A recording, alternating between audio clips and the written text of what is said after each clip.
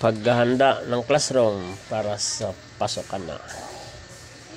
Sa August 22 yan mga social distancing. Mga teacher table kailangan ma-repent na. Para kahit pa paano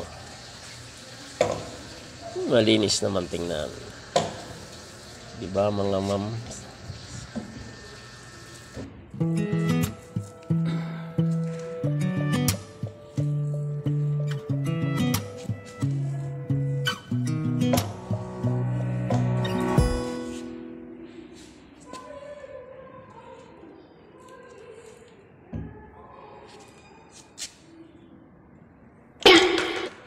malaking roller brush na ang gagamitin para mabilis matapos kalahating araw limang table kaagad eh.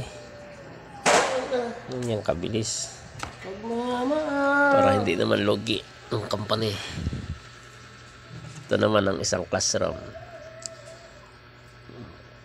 Social ang table mataas na ori ito naman ang ibang classroom.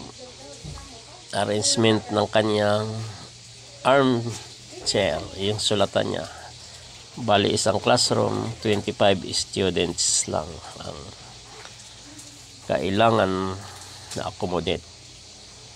May distancing din sila sa loob ng classroom.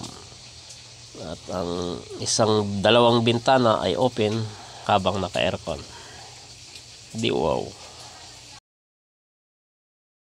Ito naman ang kanyang pintuan. Re-repent din natin. Ito na yung finish niya talagang malinis na malinis na. Para kaya-aya naman sa mga estudyante. Maayos naman tingnan. Kaya mga bata mag-aral kayong mabuti ha? Ganda ng mga classroom nyo. Halos repent lahat. Orientation muna tapos na uwian muna uwian uwian na boss Ano yan?